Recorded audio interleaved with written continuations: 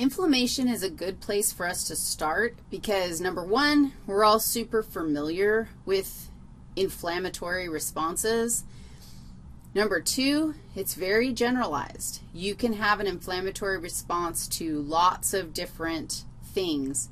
And number three, we've already talked about all of the main mechanisms that we'll introduce here. So it's kind of a neat um, and interesting conversation. So the inflammatory response is caused by chemicals. So um, if you want to have an inflammatory response, you have to produce inflammatory inflammatory cytokines. And the term cytokine is kind of an odd one. It's reserved usually, it's a chemical, and it's reserved to describe immune stuff, but it's usually secreted into um, surrounding tissues. So I would argue that most cytokines are paracrine molecules. Um, they, it's usually a local response, although you can secrete cytokines into the blood. Um, they're kind of this weird um, immune-related thing that the term cytokine itself is not hugely um, beneficial. But when I refer to cytokines, which we will refer to them often, um, just know that they're a chemical associated with the immune response. So there's a couple of times when we might produce these inflammatory cytokines. So like what causes us to produce these? Um, tissue damage can lead to the release of inflammatory cytokines, often by the cells that were damaged. And where have we seen something similar? When we broke blood vessels in the last lecture and talked about the process of hemostasis, the broken blood vessels are experiencing tissue damage, and they probably are producing inflammatory cytokines as well as all their other uh, chemicals to stop the bleeding.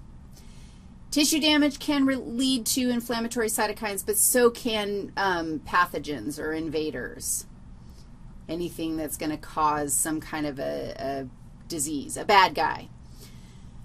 Um, and what we're, why? Why are we going to have an inflammatory response? Um, the purpose Inflammation actually creates a barrier. You can imagine, like, if you get a splinter, you actually have an inflammatory response to the splinter, and it, it kind of creates a, a, a barrier between the splinter and the rest of your body, and, and that can prevent the spread of bad guys. It also um, brings in white blood cells. And white blood cells, we will see, are the main um, army people, the doers of the immune system. And then uh, the inflammatory response promotes healing. So the chemicals that are released and that are part of this help initiate the healing process from uh, some sort of invasion. So when you think of inflammation, you probably already think of um, four signs of inflammation. One, what do you think of? Redness, right? Two, heat. I have to tell you right now, this is not fever. Fever is something else. In fact, check it out. Fever, we're going to talk about fever in its own category. Redness, heat, swelling, and pain. These are the four signs that you're having an inflammatory response. And the cool thing is that there are two what? There are two mechanisms that inflammatory cytokines initiate that bring about all four of those, what, signs. So let's talk about redness and heat first. Think about what you might do. What, what, if you wanted to create redness in an area like your face, what are you going to do? If I want to make my face red, I'm going to um, go for a run. And when I go for a run, like I'm going to get hot and my face is going to get red, why? Because, and my face gets hot. It gets red and hot. And why? I know you can figure this out, and I hope you yelled it out loud and proud. Vasodilation, doggies. Inflammatory cytokines cause vasodilation at the site where they're being produced. So you have an invasion of a bad guy, inflammation results, and vasodilation is one of the things that these inflammatory cytokines causes. Vasodilation, yeah, causes redness because there's more blood in the area that you're vasodilating, and it causes heat because there's more blood in the area that you're vasodilating. Blood, your blood is hot. It should be about 98.6 and degrees Fahrenheit, and that, um, you notice that, right, when you have an inflamed body part? It's red and hot because of vasodilation. Why would vasodilation be something that we would do? Like, what's the benefit of vasodilation? Dude, it's going to bring in, um, I'm going to put a little star because it's going to bring in the white blood cells. And that, it's also going to provide the barrier. But do you agree that if we vasodilate, we're going to bring in more blood? If you bring in more blood to the area, then you're going to bring in more blood cells that are um, going to be helpful. Now, guess what else you do? How do we get the swelling and the pain? Well, let me tell you, let me tell you true. The next thing is that inflammatory cytokines cause um, leaky capillaries.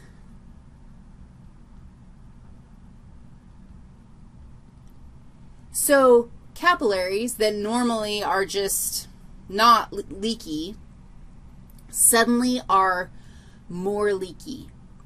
Why? How? How?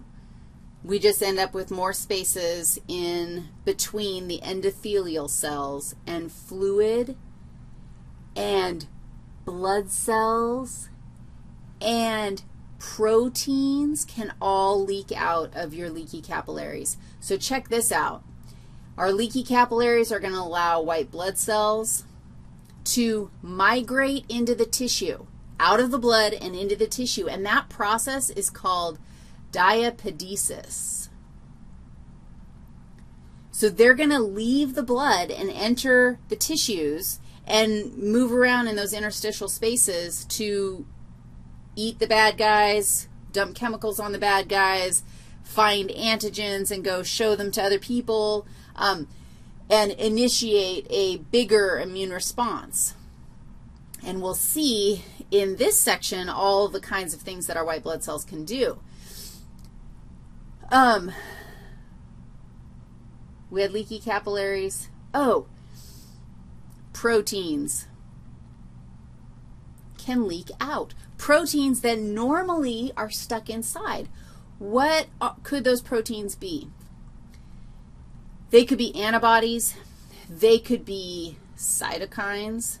They could be um, other chemicals that are going to initiate more of a response.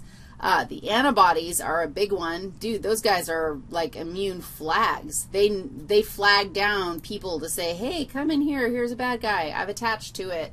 Um, what's one of the consequences of losing proteins out of your blood? Dude, sad story. What happens to osmotic pressure in your blood? Osmotic pressure goes down. Do you agree with that? Because you just dumped a whole bunch of proteins into your tissues. So it's no, no longer, those proteins are no longer in your blood. If you decrease the osmotic pressure, which is pulling the fluid back into the bloodstream, you're actually going to get what? Swelling.